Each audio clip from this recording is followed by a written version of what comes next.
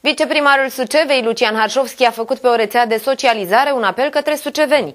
El i-a îndemnat să-și plătească taxele și impozitele locale, subliniind că lucrările din municipiu se fac și în funcție de încasările bugetare. Arșovski a precizat joi că începând cu 5 ianuarie se pot plăti taxele și impozitele aferente anului 2017, menționând că persoanele care vor plăti până pe 31 martie vor beneficia de o reducere de 10% a impozitului pe clădiri, teren și mijloace de transport. El a adăugat că taxa de salubrizare rămâne 5 lei pe lună pentru persoane fizice și 6 lei pe lună pentru persoane juridice. Anul trecut, gradul de încasare a fost de doar 61%. Lucian Harșovski amintindu-le sucevenilor că lucrările din municipiu se fac și în funcție de încasările bugetare.